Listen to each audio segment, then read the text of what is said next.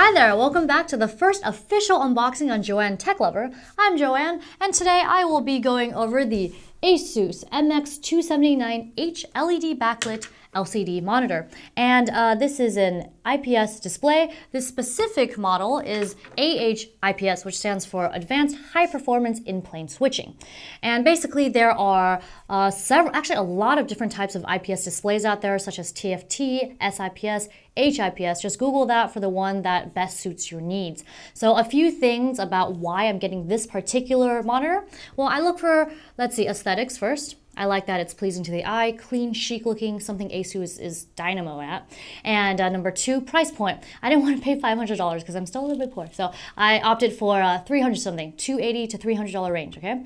Uh, also, size of the monitor, 27 inches, perfect for me, two feet away from uh, where I sit in front of my screen when I'm gaming or watching movies. Um, and one last thing is, of course, performance. So for the price point and all that good stuff at 60 hertz refresh rate, 5 millisecond uh, response time, I'd say it's, it's, it'll do. It'll do. So let me go over a little bit about the three types of monitors.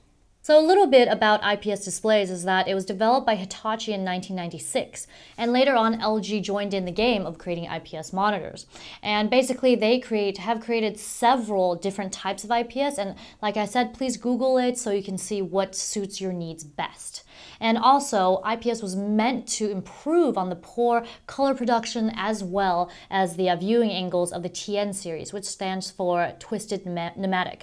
And basically, if you are a hardcore serious gamer, TN would probably be really good for you because of how fast the response rate is, uh, which is uh, 1 to 2 milliseconds, as well as the refresh rate, 120 hertz, and I think it goes up to like 144 hertz. That's mind blowing. Basically, you're gonna be able to avoid probably most of the, the tearing and the stutters. So that's good news for those of you who have a lot of complex motions going on on your screen.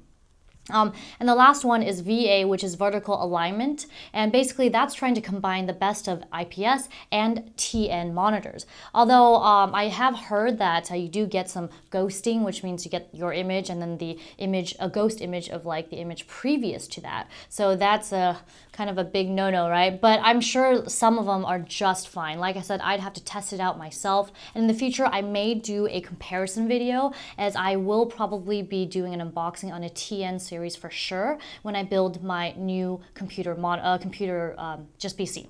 So that's exciting. And I will leave you at that and go forward to the unboxing. There are a few things on the box I'd like to go over before opening it up because simply it's there and it's something to look at so you're not just staring at my hands moving in the other shots later.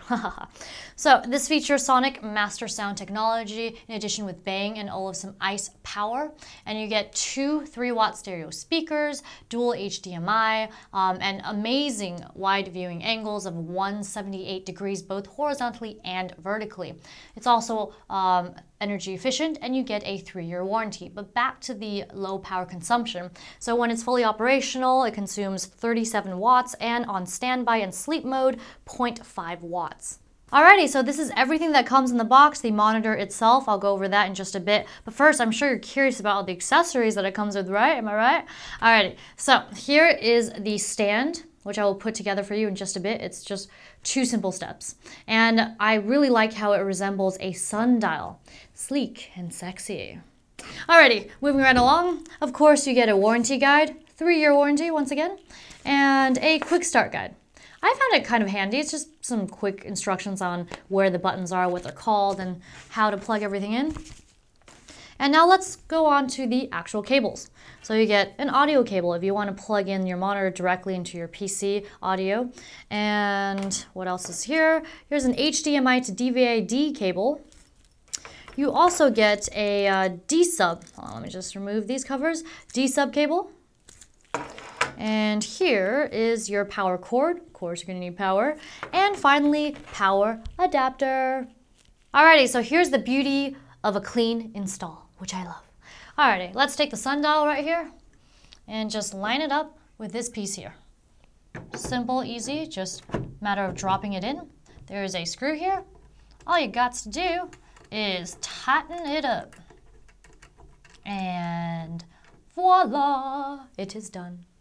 Before I turn this unit on, I'm gonna go ahead and tell you a little bit about the back. So as you can see, pretty much the entire back of the monitor is gloss and I actually personally do not like it. I mean, once it's clean and everything, it's really shiny and pretty, but that's the thing, you have to keep it clean and most likely you're gonna be touching that gloss. But luckily it's on the reverse side, so most likely people won't see the back of your monitor, so you're covered there. Here's a closer look at the ports. You get dual HDMI input ports and one D-sub input port. And basically what this allows you to do is connect to various devices, such as Blu-ray players, digital cameras, game consoles, and the like.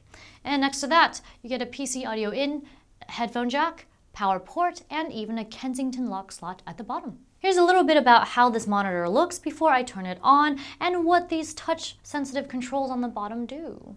So the first thing you'll notice is that it's frameless. At least that's the first thing I notice, and I don't see that very often, and I love that feature. It reminds me of infinity pools where it looks like it just drops off. Awesome!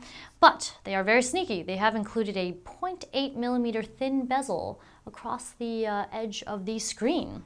You might notice it when I turn it on, but moving right along, it comes in a very slim profile, measuring just 17.5 millimeters at its thinnest point. And this unit measures, let me just turn it just a little bit more so you get a better idea. And one last thing, this unit measures in at 11.5 pounds. It's time to turn this baby on, so go ahead and touch this. There you could actually feel this uh, physical button, but you just touch it lightly underneath the power, and boom, it is on. What's going to pop up is a wizard photo. It's actually me, yes. I was uh, the wizard. I dressed up as one for BlizzCon 2013. And Joe, very talented, he's the one who photographed it and edited it. And I wanted to show this photo because of the rich blacks, and you also get some whites, some blues, and it's just a really good picture to show you so we can toggle through the different modes. Now let's go ahead and talk about the buttons on the bottom. So this one is the quick fit key. Well, it's the hotkey for it, so I'm just gonna go ahead and touch that. So what this allows you to do, you can probably guess already, is that it allows you to preview photos and docs on screen in their um, actual size prior to printing. So you can view and edit photos in their native size, which is a really nice feature, but you're gonna have to actually toggle through all the options. We tried to find a back button for this, but I think the best you can do is just toggle through it. So one moment while we, there we go. And next to that is the video preset mode button. Uh, this is ASUS calls it Splendid. There are six of them, so I'm just gonna go ahead and show you what they are. So we are in standard mode, theater mode, game mode, night view mode, sRGB, and scenery mode. We're gonna go ahead and stay on standard mode. Now, if you saw that the S sRGB mode was flickering, it's actually not in real life, it's just because of how the video camera um, has captured it. So moving right along, here's the volume button. So volume up, down, volume up, and then just click menu to get out of it. But when you are in menu, you're gonna wanna press the uh, preset button to get out of that. And here is the brightness adjust. So brightness up, brightness down. And next to that, let's uh, press menu to go back. From that is the uh, input select button. Right now we are using VGA because uh, I do not have a cable, HDMI cable on me at the moment, so we decided to use the VGA cable that was included with this monitor. And of course, this is the power button. And oh, one last thing, contrast ratio. If I didn't mention it, that is also one another important feature you should look for when you are buying a monitor. So this one is 1000 to 1 Contrast ratio, it's basically just the ratio between the blackest black and the whitest white, in case you didn't know what it is. And 1000 to 1 is actually quite respectable. 2000 to 1 is pretty spectacular. and so if you see inflated numbers like 80 million to 1 or 30 million to 1, just so just ignore that and ask for what is the uh, native contrast ratio. Alrighty, so before I wrap up this video, there are some loose ends I'd like to tie up. First thing you'll notice is that this monitor comes with a very matte display versus glossy. So when we have hot studio lights pointing at the display, it doesn't have all that much glare, which is Great news. Also, this particular model does not come with height adjust or swivel, but it does have tilt. So you get positive 20 all the way down to negative 5 degrees, which is awesome. But let's get it back to normal, shall we? And if, once again, if I haven't mentioned this before, this is a 27 inch monitor with full HD display at 1920 by 1080 res. And one last thing is that uh, if you want to purchase this product, you can go ahead and click on the link below. Ah, so beautiful. I love you.